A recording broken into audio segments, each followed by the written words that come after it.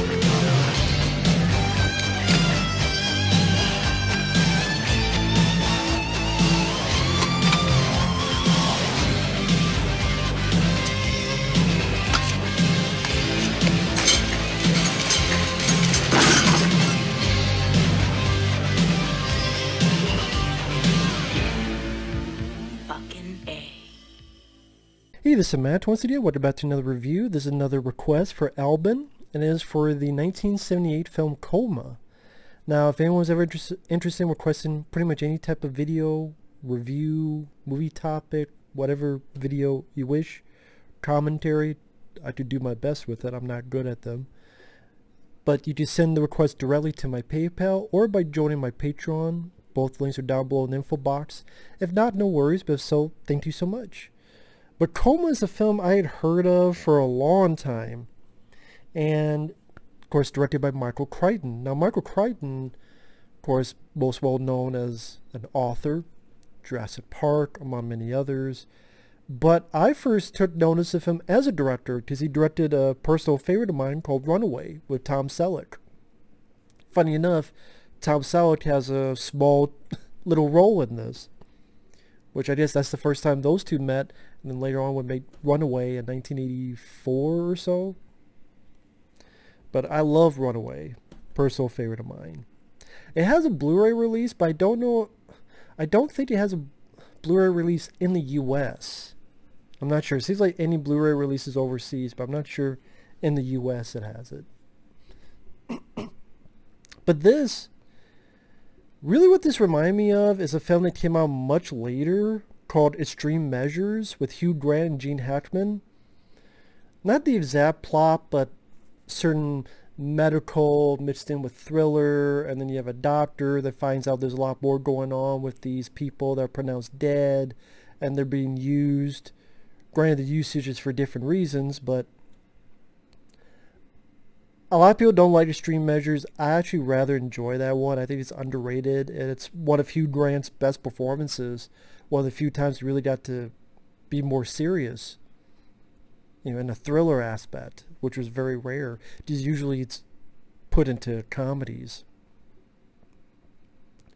But this one, it was a decent film. I mean, Genevieve Bujold, probably butchered her name, which I believe she was one of the front runners for Captain Janeway on Star Trek Voyager, but then something didn't work out. They got Kate Mulgrew.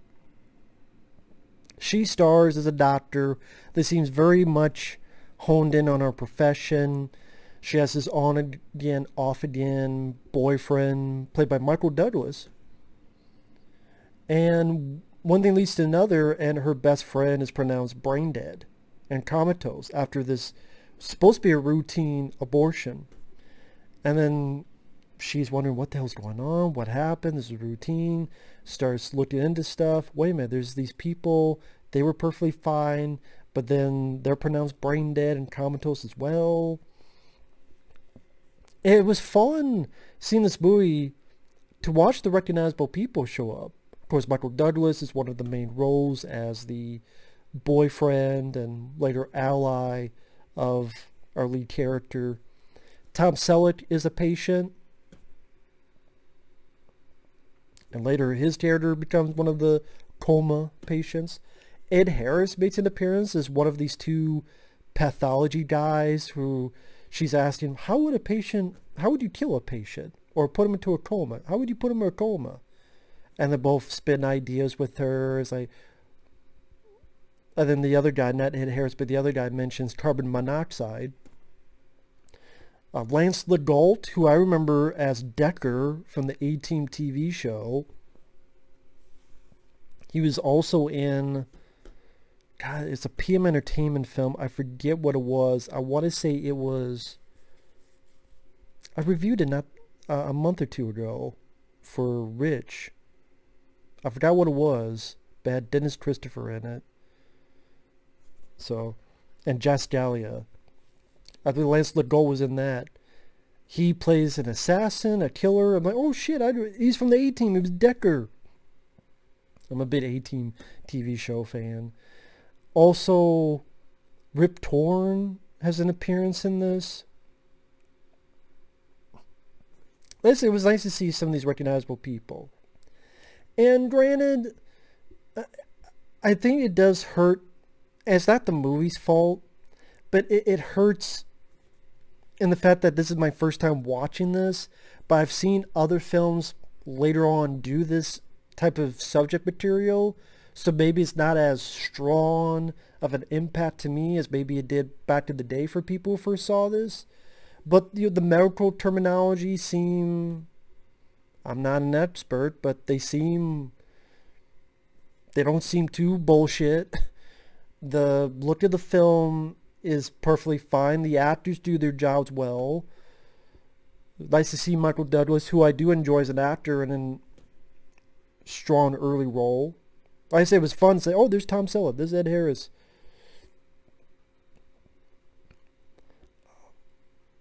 What you find out, spoiler alert, is it all deals with black market organ sales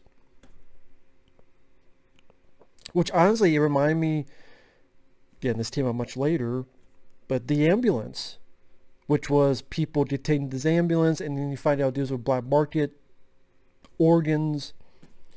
And I like that movie better than this. It's not that this is a bad movie. There's really nothing wrong with the movie. At least, I'm sure more articulate, seasoned vets of critics criticisms and went to school for eight years. They could probably get the ins and outs of whether the story, the plot, the plot holes, the plot lines, the plots upon plots. Me, I'm just a guy sitting in a chair watching a movie.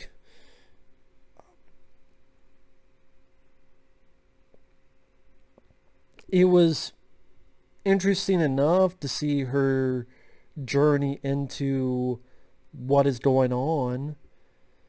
I like some of the look of the film, like I mentioned. That's not a bad looking film.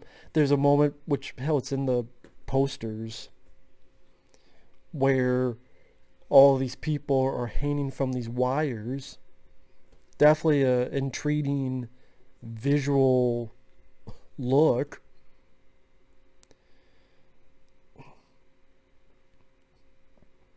I like that Michael Douglas has something to do. He's not fucking useless. He comes through at the end. I like that. Because usually, well, if this movie was made nowadays, the guy wouldn't do shit. Or he'd be the bad guy. People say that's not fair. Well, call like I see it. But here it's like, okay, she did a lot of work. You find out what's going on. But Michael Douglas helped out too at the end. So that was nice. A, because I like Michael Douglas, and B, the guy wasn't useless. That was cool. Does it end on a stupid, downbeat, bullshit note? I just, like, compared to Extreme, like, Extreme Measures, in a weird way, I felt more interested and pulled into the story because I really like the idea it poses where Gene Hackman, first off, stronger villain. Like the villain here, uh, Richard Widmark is all right, but Gene Hackman is Gene Hackman. And then the whole if you could cure cancer by killing someone, would you do it? Like if you kill one person to cure cancer, would you do it? That's the question it poses. Now, of course, critics would say that it didn't do as much as it could with it. I thought it did fine. I really like Extreme Measures. Sadly, I don't even think that has a Blu-ray release. Uh, I think like a clam, not clamshell, but one of those old school Warner Brothers DVDs. I think it was Warner Brothers. Don't quote me on that. That I don't remember what studio. Now I'm, now I'm talking about Extreme Measures, but that one I got a bit more into the story. I, I don't know how else to put it. The trailers for that movie isn't that great. I think that's what hurt the film. The trailers aren't really that great for Extreme Measures. Are you done talking about coma? I'm sorry, I'll get back to coma. It didn't put me into a coma. Believe me, there's some films I've seen lately that were close to putting me in a coma, but not this one. With Michael Crichton, I actually want to look up all the films he directed. This was a surprise hit. I, I do know that. This was a bigger hit than people thought it would. And I'm kind of surprised. Actually, let me wait on that. I was going to say I'm pretty surprised this didn't have a sequel but it was adapted into a two-part miniseries in 2012. And it's interesting that Michael Crichton, he's known for an author, you know, of all these books, and this movie that he directed is based on a book. I mean, this wasn't his first film. No, he, oh yeah, he did Westworld before this. I like Westworld. I believe I reviewed Westworld on here. I do like Westworld quite a bit. Looker, yeah. You know what? If that didn't star Albert Finney, I think it would have been better. Physical Evidence, not one of my favorite Burt Reynolds films. But I mean, novels, I mean, this guy wrote Andromeda Strain, which I do like the movie on that. I, I know I reviewed that. Eaters of the Dead, which got turned to the 13th Warrior. Uh, Congo, which I love the movie. Sphere, I reviewed that movie. That's a good one. He wrote the novel for that. Jurassic Park. Rising Sun, I ranted on that movie recently. That's boring as hell. Disclosure. Oh, he wrote the novel of Disclosure. That's right. I liked the movie. Michael Douglas, funny enough, was in that.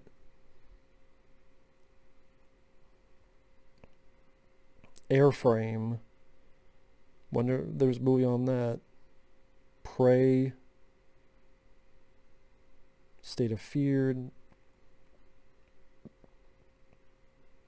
Next. But not not the Nicolas Cage one. This is a novel talking about genetic research. Sorry, now I'm okay. Let me stop.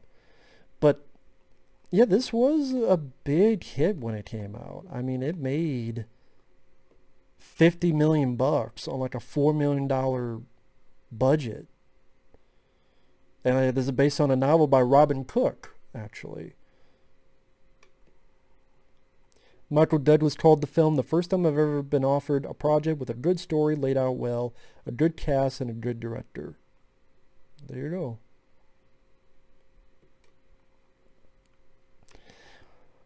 What is this fucking mini? There was a mini series also on this 2012. Produced by Ridley Scott and Tony St Scott. Is this the director I'm thinking of? Who did? this isn't the director I'm thinking of, is it? That did this.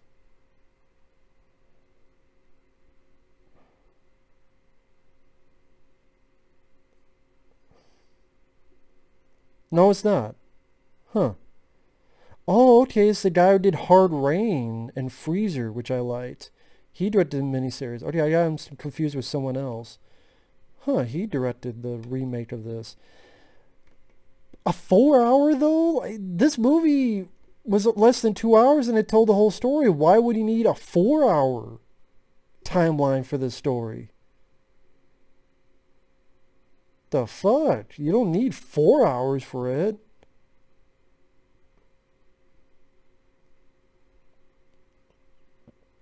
Lauren Ambrose, who the hell is that? Supporting cast, I mean, you got Geena Davis, James Woods, Ellen Burstyn, Richard Dreyfuss.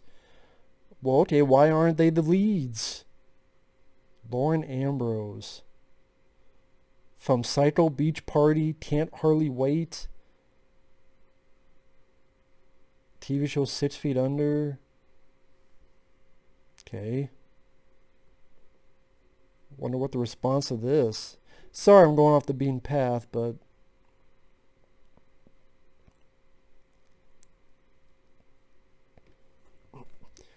evoked some creepy images, but the majority of the miniseries is not believable in terms of story development, dialogue, or performances.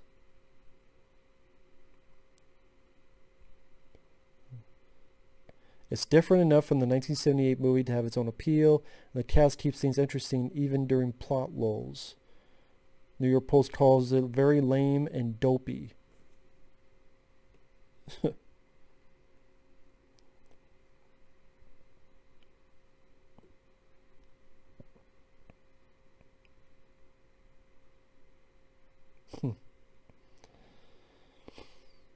okay.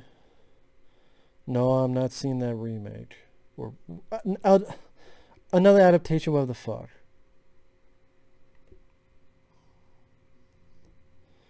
I know this sounds stupid. Whenever I look at the poster for a split second, I keep thinking it's Princess Leia from the first Star Wars.